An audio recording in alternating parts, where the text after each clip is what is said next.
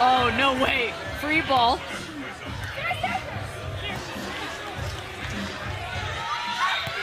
I think that's a great touch.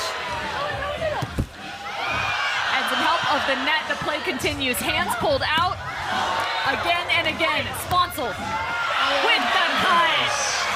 Sarah with the big Unreal continuance from Sarah Sponcil playing defense.